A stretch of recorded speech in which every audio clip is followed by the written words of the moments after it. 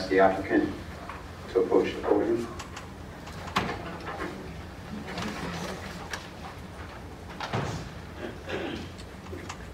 Mr. Darrell, the floor is yours. Thank you, Council President, members of the council. It's a pleasure to be here again. I did want to open up um, just by thanking the council, uh, thanking the members of the community, all the staff, and of course, uh, including the planning staff and the planning board. It's been a long journey, um, a lot of work, a lot of collaboration um, with planning staff, with the public hearings, um, with the professionals in the community, with the planning board. Um, As you know, we just are here before you, coming from the um, planning board who is statutorily charged with providing you with an opinion um, as to whether or not they felt, they felt that our proposal uh, was consistent with your comprehensive plan. Um, Having received favorable comments, um, sorry, favorable recommendation from your planning staff and the planning board, that's what brings us here before you. Um, I won't repeat the summary, but as you know, this is in respect to a new sub-district of the Waterfront Special Development District that is proposed to be called Metacomet. Um, Want to go over a couple of highlights, maybe we could put our our presentation up, that'd be great. Um, Also, uh, Council President, to help with the brevity of our presentation and our repeating, would we at this time be able to ask the council to admit the planning board record, the planning board recommendations, the staff recommendations, and the report that was issued by our planner, uh, Sampson and Weston, always reverse it, Weston and Sampson, Sampson and Weston, sorry, Weston and Sampson, to the record. Yes, please. What is the motion? Okay. Need a motion to accept? I only have a, que- I have one question about this that was just passed out prior to council meeting. I never had a chance to see this or read this prior to this meeting. So to, uh, to have this entered into record right now is a little bit unfair for people like myself who haven't had a chance to read it. Council President, if I can just, um, uh, Please do, sir. Councilman Mourato, that's just a continuation of the record from the planning board. That was submitted for the planning board, we're just providing it to you as an additional copy. So that would have been submitted and available for public viewing probably about three, four weeks ago. Okay, I'm just making it known for the record that I wasn't aware of that, so. Understood. And it's consistent with, the- it was, it was a supplement to the testimony provided live at the hearing, and then reflected in the decision by the planning board uh, provided to you all. So I move to accept those documents into the record. You have a second on that? One second. Madam Clerk, roll call vote, please. Councilwoman Sousa. Councilman Cahoon. Aye. Councilman Mourato. Aye. Council Vice President Rodrick. Aye. Council President Brennan. Aye, please proceed. Thank you. Um, And again, that's mostly for brevity, so I don't repeat things. Uh, Tonight's presentation is going to be, we're going to try to uh, keep it pretty brief. I know lots of folks want, uh, want to be heard. Um, One, uh, if you could please move to the next slide, just a brief summary just to remind uh, folks. Um, As required, as your city solicitor could also advise, um, all the advertisements followed our original petition. However, we have worked with your planning staff, with your planning board, and as you saw from the planning decision, there's a series of conditions. Um, When I walk through where we are today, uh, you will note that we will, we have incorporated the conditions that have come from the exercises with your, the required exercises, with your planning staff, with your planning board, and is reflected in their uh, recommendation, the recommended conditions. Um, So just as a reminder, as you saw before, when we came before this council for the substantial change determination, as presented to the planning board, uh, this is the subject parcel. Before you, um, were this to be approved, there'd be the area labeled A and the area labeled C would be submitted to this district. The area labeled A would be limited to the uses set forth in the proposed zoning table as supplemented by the conditions I just referred to and presented by your solicitor in all the materials. I believe you called it addendum A, Mr. Solicitor? I forgot what your title was. Give me two seconds. Survey? Sub A, thank you, sub A, apologize. Um, And uh, C, area C, would be maintained, and I want to be super clear, because we're super clear with planning, be super clear with council, would be a golf course, out of the gate constructed, and if it should ever cease to be used as a nine-hole golf course, it would be green space, publicly available green space. Mm-hmm. You'll see that condition is written out clearly in the conditions that came from the planning board.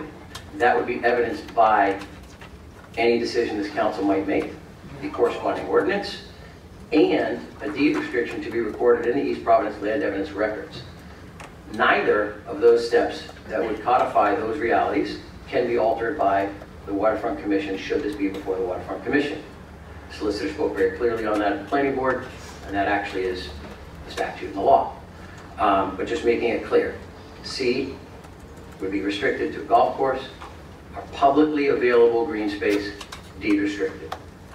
Um, Continuing, one of the conditions that your solicitor put on in the review process, and we'll talk more about this later, uh, all of these areas would be subject to a Rhode Island Class 1 survey to be submitted, so there would be no debates as to the lines, as to where any of these lines that we're talking about, A, B, C, or other lines are located. We, uh, development, sorry, rephrase, applicant would be required in the first phase of development to um, construct and make available for public use that golf course. Um, Just want to continue, uh, we, um, sorry, to finish the slide. Uh, Additionally, uh, parcel B would be the proposed parcel that we intend to make, uh, to grant to the city by way of deed. Um, City could obviously use it however it so, so fit. Um, We proposed uses in our prior presentations, um, but I won't uh, belabor the point by going through them. Uh, Next slide, please. So we talked about uh, A and C um, being in the district. We talked, we talked about how um, the uses for A as is set forth, also subject to the multiple conditions, which were reviewed just once at the end, um, and how we would treat the open space, uh, and then the gifted nine plus or minus acres to the city of Providence. Next slide, please. Uh, East Providence, sorry. I'm speaking fast and uh, throwing my water with me. Thanks. Um, We'll come back to one just so you can see the map. Um, But we have a sup- a supplemental map that was produced at the planning board that just shows out more clearly some of these areas. Um, So I'm going to skip back to one, two, and three, which is just a reiteration we just talked about. Condition four was put on by um, your solicitor as requiring a class one survey so that all these boundaries could be uh, codified with due accuracy. We obviously agreed to that. We, you've heard us previously present, uh, condition number five, that um, we would provide reduced green fees for obviously residents of East Providence, as well as complimentary utilization of the course by the East Providence High School golf team. Next slide, please. Um, Again, I made this point in the opening because I understood there was some concerns, but that's how we would obviously treat Area C. We call it golf or green, it would be a public golf course or public green space, conditioned to the zoning ordinance and deed restricted. Um, We would also, which you've heard since the beginning, integrate an extensive network of uh, walking paths throughout the development with emphasis provided on connectivity to Pierce Fields and access to get across the parkway to the bike path. Um, We also agreed in prior conditions that we would use reasonable efforts along the property to be conveyed to the city to maintain mature trees along that to just further enhance what, before we talk about a ladder condition, is already approximately a 300 feet minimal buffer. That actually will increase as we'll talk about in a couple of conditions. No new curb cuts permitted along Fort Street west of Bentley, something that came up in extensive communication with the, with the neighbors in the community, early uh, agreed upon by um, marshals, and obviously would be continued.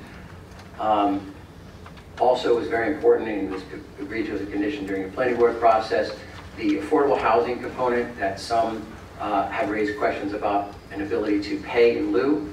We would give up that right. Uh, this- The chapter and verse is cited in the notes, but um, in short, the affordable housing, inclusionary housing would be on site. The 10% would be provided, built on site. Next slide, please. Um, So on four- uh, 11, just give us one second, we'll bounce back to that because that is better described with the map that follows this sheet. Um, But in short, 11 refers to the planning board's comments that they wanted to provide some additional buffering for certain structures. So we provided an additional 50-foot no-build zone off of uh, what is approximately 300 feet. You'll see, you'll see on the plans again, very familiar to you, but we'll show you at the end. As well as a certain area that the height restriction, although requested as five stories, would be limited to four um, in that area after the extensive buffer. Um, Following uses and items addressed throughout the use table, several of these were in the original, several were enhanced through the planning board and planning staff process and included in the planning board's decision. Um, And obviously, the residential development be included as part of a mixed-use development, that any furniture and home furnishings and appliance uh, storage be limited to a building footprint of 25,000.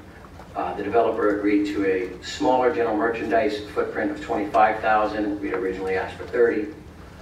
Um, That um, it would, uh, that the Metacomet subdistrict uh, grocery store, just to be inclusionary language, supermarket, printing and publishing shall be limited to consumer retail. There was a concern raised that we might try to do a printing operation on site, so we clarified that. Um, Package stores uh, or liquor stores would be limited to retail sales area 7,500. It came up in the planning process, there was fear that there'd be a large liquor warehouse, like side, side highway, kind of, you see upstate New Hampshire, uh, so we agreed to that. The fast food limitation, building size was agreed to in prior. Um, That's, uh, you'll also note, subject to conditional approvals. Um, Next slide, please.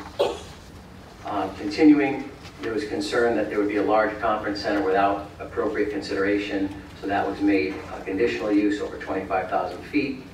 They did not want dog kennels on the site, so we agreed that unless it was relevant to, or sorry, related to a veterinary care, that there would be no dog kennels uh, operations. Um, Drop-off, pickup, dry cleaning only, meaning they did not want a dry cleaning processing plant on site, because that adds a new component of contaminants to be concerned with, so that was agreed to. Pharmacy restriction, health and fitness restriction, um, all with size footprints, and if the fitness center were to go larger than 15,000 feet, it would be a conditional use requiring that additional approval. I believe your solicitor walked you through it the last time we were here, but a conditional approval uh, under a waterfront condition district is a pretty extensive permit with, sorry, process with even additional standards than uh, is required in the city's process for special use permits. Um, Sale of business and industrial equipment requiring outdoor storage and staging was prohibited. However, the planning board did want to make sure that they did not exclude outdoor garden centers and smaller hardware stores, so that's when they came up with the 25,000 square foot use and um, complementary outdoor uh, uses such as garden centers. Um, And then uh, it was asked to clarify that they don't want self-storage on the site, but were you to have a condominium building or something, and there was storage within a- lower level or something, that that's not what was meant by no self-storage. If we could have the next slide. So this is just demonstrative of the points that I mentioned earlier. This came out of work with the planning staff and the planning board. You'll see that hash line that's labeled 50-foot building setback. That's just an additional buffer to top off um, where there would be no development. So in addition to the 240, 260, 250, and then as you turn the corner, uh, down what we used to refer before the council as the knuckle, that buffer area is now enhanced by an additional 50-foot building setback, and we agreed to the mature tree preservation on that line. That, thank you, by the way, for tracking that line. That's the line of mature tree preservation as well. Um, And then the yellow area is the additional restricted area that will be limited to four, as opposed to uh, the five originally requested on, on the balance. So that's a summary, kind of catching everybody up from the original uh, petition to the revised plan that was presented on the substantial change to what's happened through the required process of the planning board, sorry, the planning staff and the planning board. Um, Again, keeping this moving, um, as I'm sure your solicitor has advised or will advise, there are a requirement uh, for certain findings that need to be made. As accepted to the record, uh, they were referred to in planning staff report, they were referred to in the planning board approval, and in the record from the planning board was accepted, including the testimony um, from Ms. Sweet. So we've just asked her to present a summary of certain select findings, just so the council has the opportunity to hear it in person and maybe generate any follow-up questions you might have. So if the council president please, I'd like to turn over to Ms. Sweet for a quick moment. Please do. Thank you.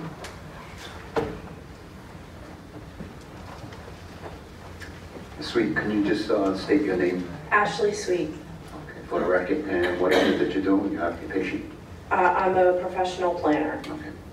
Let me interrupt. Uh, Council President, it it was done at planning, but I just figured, um, I would like to submit Ms. Sweet to be accepted as an expert to the council as well, as she was at planning. And we have her information in her uh, uh, resume on file? Yeah, Including planning and again, copies for courtesy. Okay, very good, thank you. Uh, you- We'll make a motion. Thank you, sir. Oh, no, okay. Anyone like to? Sure, so move the expert witness. Anyone like to second that motion? Madam Clerk, roll call vote, please. Councilwoman Sousa. Councilman Cahoon. Aye. Councilman Mourato. Aye. Council Vice President Rodrick. Aye. Council President Britto. Aye, please proceed. Thank you. Good evening, members of the council. Um, I'm here tonight to provide you with a brief summary of the report that was presented to the planning board during their uh, consideration of the advisory opinion on this zone change and comprehensive plan amendment. So if you could move to the next slide, please. I will attempt to keep this brief. Everything that I'm going to go over for you is presented in great detail um, in the report that was presented to the planning board and then now presented to the council um, as part of the record. There is a requirement in your zoning ordinance as well as in Rhode Island general law that any amendment to a zoning ordinance or a zoning map must be found to be consistent with the purposes of zoning. Um, In the East Providence zoning ordinance, there is a list of 16 purposes which are mirrored in state law. Um, Instead of going through all 16 of those, I have kind of grouped them into some categories for brevity uh, sake. They are outlined in the report. All 16 of them are are presented and um, provided commentary on each of those 16. But for the purposes of this hearing, I've grouped them into six categories, and I'd like to just briefly share those with you. Um, Number one, purposes of zoning talk about the appropriate, safe, environmentally sensitive, innovative, and balanced development is called for in the city. Um, We believe that this, app- this future application for development would be subject to review by the appropriate reviewing authority, where there are high standards that have to be met by any development that are designed to ensure that development is appropriate, safe, environmentally sensitive, that it is innovative, and it is balanced for the community. So we believe that that's a standard, those standards that address those issues would be met through the review process. Um, Number, the, number two would be that development benefits the general public and local residents, as well as balances the financial and scenic quality of the community. Again, this would be an application that would go through a rigorous approval process once a development is proposed, and all of the standards that are in place in your existing ordinances and, and requirements are going to address all of those issues. There are required findings that have to be made that touch upon each of those. Uh, Number three would be to provide a balance of housing options, including affordable units, economic opportunity, and protection of the public investment. The applicant has agreed um, in the ordinance that's being proposed that there would be a balance of housing types, a balance of commercial and economic opportunities, anything from retail to office space, as well as improvements to public infrastructure that would be required as part of the review process before the review authority. Number four would be to provide for a range of uses and intensities that are consistent and appropriate with the character of the city, reflecting current and future needs. This again would be, uh, there's a schedule of uses that are contained in your ordinance already. The proposed amendments are consistent with those schedule of uses. There are no uses that are currently proposed in this new district that are out of character or out of keeping with the existing uses that are allowed in your waterfront districts. Number five would be that the amendment can, retains consistency with the remainder of the zoning ordinance. This is to ensure that uh, as sections of the zoning or ordinance or map are amended over time, that there are no internal inconsistencies created by those amendments. And the change to the zoning ordinance that's being proposed um, will not threaten or the integrity of your existing ordinance. It, it takes the existing waterfront district and expands upon it uh, by adding a section of land, but it doesn't propose anything that's out of keeping with what's already allowed in your waterfront districts. And number six, and maybe most importantly, is consistency with the comprehensive plan. Um, This, I'd like to go into this a little bit more detail because it is probably one of the most important pieces um, of approving an amendment to the zoning ordinance or to the comprehensive plan. And something unique about East Providence's comprehensive plan is that you actually have four findings of fact in your land use element that are required to be made in order for an amendment to be approvable um, in the comprehensive plan. And that's something, I've looked at a lot of comprehensive plans, and that's something I've not seen before, so that's a unique and, and in my opinion, a, a, a very good mechanism by which the body that's making these changes or approving these changes is required to hold these changes to a higher standard than is typically done in other communities. So if I could just briefly go over those four standards with you. The first is being a development pattern that's contained in the land use plan inadequately provides the appropriate optional sites for the use proposed in the amendment. So there are other areas of the city certainly that would allow similar types of uses, but this area is pretty, is well suited and should not be considered necessarily as competition with those other areas. This site presents a unique opportunity to combine recreation, open space, retail, and housing within a fairly compact area um, that's well served by, by transportation options. Number two would be the amendment constitutes an overall improvement to the comprehensive plan and is not solely for the good or benefit of a particular landowner or owners at a particular point in time. The proposed amendment, and you could see from the report, um, there's an extensive list of goals, policies, and action items that are made as statements in your comprehensive plan. And it's the responsibility of the city and, and the various staff and departments to implement those goals, policies, and actions. And in our opinion, this amendment actually does implement a lot of those goals, policies, and actions. And I'd like to, when we finish going through these four, just quickly read to you a summary of some of those goals, policies, and actions. Number three is that the amendment will not adversely impact the community as a whole or a portion of the community by significantly altering acceptable land use patterns, requiring larger and more expensive improvements to road, sewer, or water systems that are needed to support the prevailing land uses and which therefore may impact development of other lands, adversely impacting land uses because of increased traffic on existing systems, or affect the livability of the area or the health and safety of the residents. This is a, a balanced ap uh, uh, application to amend your comprehensive plan and zoning ordinance. It takes a large piece of property and it dedicates some of it to continued recreation and green space. It takes a portion of it and provides open space to the city, and it takes a portion of it and provides economic development and housing options for the city. Um, and again, it's going to go through a very stringent review process before the reviewing authority on already established standards that it will be required to meet.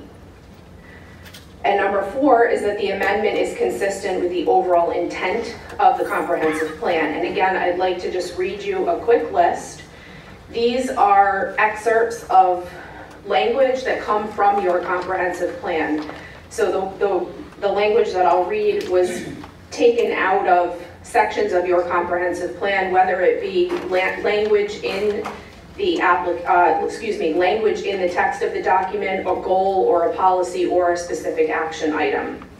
So the plan speaks to diversifying the tax base, maintaining and enhancing city parks and open space, encouraging redevelopment of parcels, encouraging a mix of land uses, rezoning parcels where appropriate to provide opportunities for development, permit infill and redevelopment, require the dedication of open space and recreation as part of redevelopment proposals, revise the zoning ordinance as necessary to promote flexibility in development, work with private landowners to meet goals and objectives of the comprehensive plan, foster a positive business environment, modify city regulations to encourage development of underutilized parcels, provide an increased diversity of recreational opportunities, encourage private recreational facilities to open to residents at minimal charge, expand recreation network through the donation of easements or land,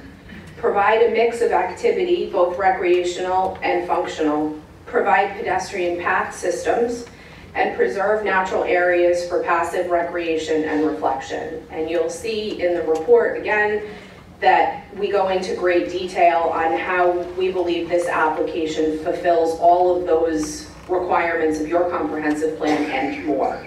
And I am certainly available for any questions that you might have. The pleasure of the council. Do you have any questions for Ms. Sweet? If not, I I have one question. yes. Can this, all that you mentioned, still be accomplished without having to go to the waterfront or be redistricted as waterfront?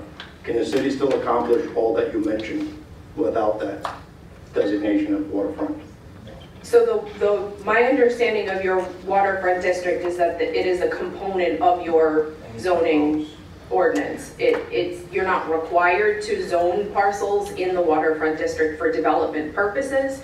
This parcel is adjacent to the waterfront district, um, and it probably, it logically makes sense to be an extension of the waterfront district. And the Um, city still accomplish the same goals The city can without create, having to have it rezoned as waterfront? No. the, ci- the city Who- can, Who's saying no? Excuse me. Who's saying no? I am. This is, this is, hold your voice, please. Thank you. Thank you. sure. Councilman Mourato, would you permit me just to phrase the question that's relevant to her expertise, answer the legal side, because it's a two-part question. So, Ms. Sweet, what, what I believe Councilman Mourato is trying to get to, at least from your expertise, is you reference a series of goals, and do you see achieving some or all of those goals tied into what the tools that you find in the waterfront district? Or do you see them standing alone in the zoning ordinance without those additional tools? From a planning perspective. From a planning perspective, the goals, policies, and actions and that, that language that I spoke to that's in your plan is not specified on how it's accomplished. It doesn't have to be a waterfront district. It can be, a- you have the power to zone as you see appropriate. So if you were to create a different zone um, and apply it to a parcel, you could accomplish the same goals And by when you, that. when you reference the comprehensive plan, when you say, okay, for example, achieving these elements that Ms. Sweet laid out, you mentioned in there the process that is being submitted to would support reaching these goals.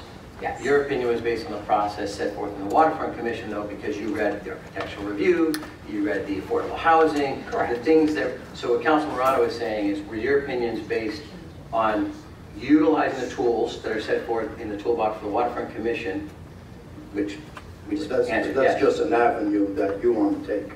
Well, no. Uh, but that- What I'm asking is, can we as a city still, if we didn't have the waterfront commission, if, if it never, never existed, can we still accomplish the things that were? And and the reason I said that it's a legal question, not a planning question, and the answer is no, you can't, because she cited multiple utilization of tools that are only found in the Waterfront Commission regulations, and I can start to cite them if you'd like, that are not in your existing. Now, it's a bit of a loaded question, because could you, what she's saying is, could you create a new zoning district and start loading it up, all those things? Yes, you can. But the testimony she gave today pulls from tools that are only in your waterfront district, and I'm answering that as a lawyer on the record, not in your current zoning ordinance, without that overlay, correct? Correct. Your waterfront district has a higher standard for development than your, than your zoning ordinances that apply to other areas of town. And when I say higher standard, it's a, I'm talking about architectural review, aesthetic review, you know, traffic review, all of those are kind of elevated as, as a higher standard. Yeah, Councilman, I was just, I was just bifurcating because if you ask a planner who, by the way, writes zoning ordinances and codes, can you? Sure, you, you could achieve whatever you want, but not in the current what you have.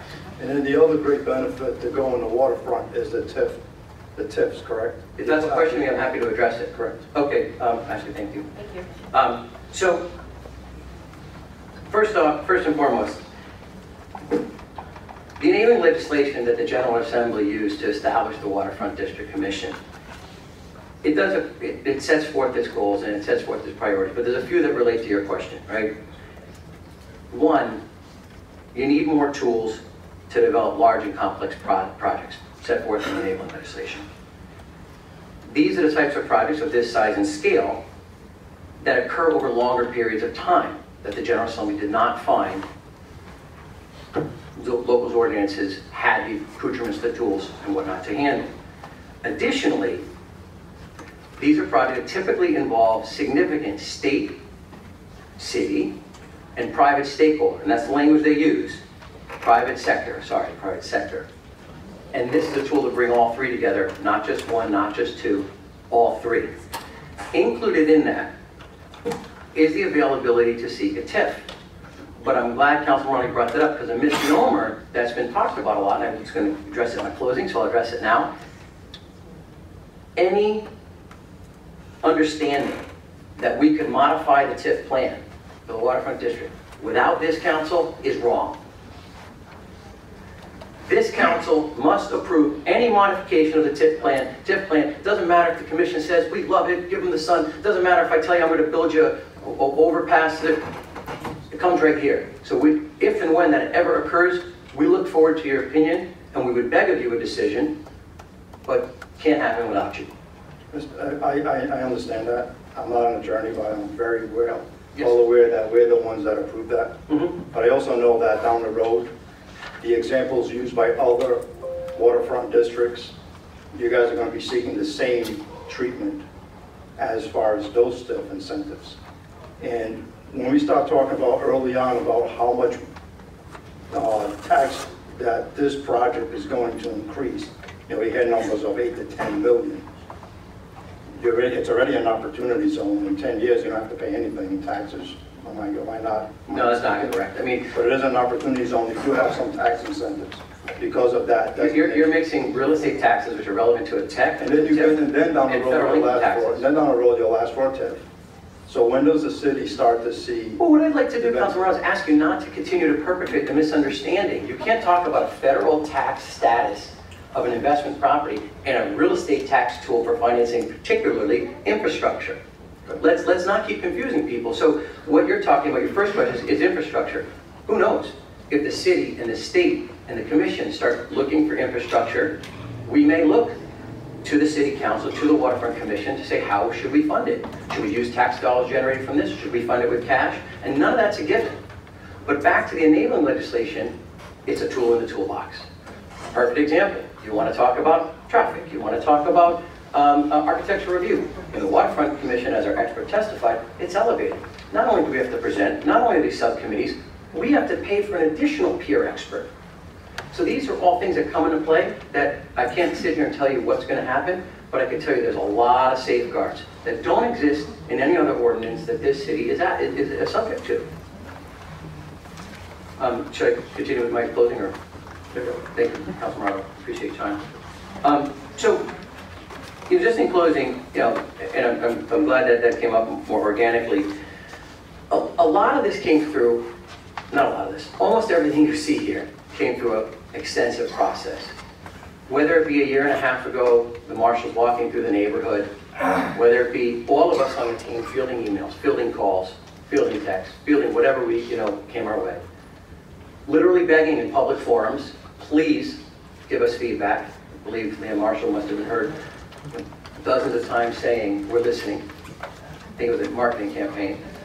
And and it was interesting because at the planning board, uh, I give a lot of credit, uh, you know, to that process.